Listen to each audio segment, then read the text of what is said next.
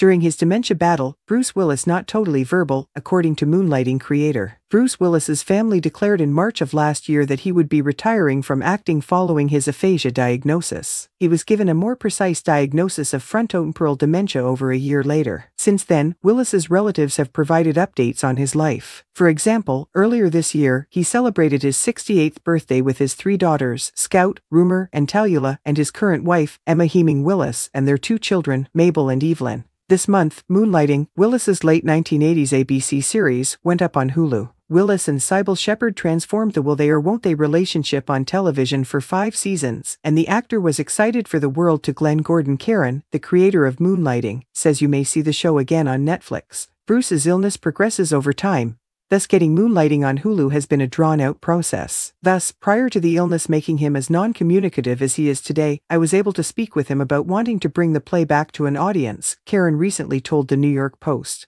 I am aware of its significance to him. Willis's wife and three older children have remained in contact with Caron.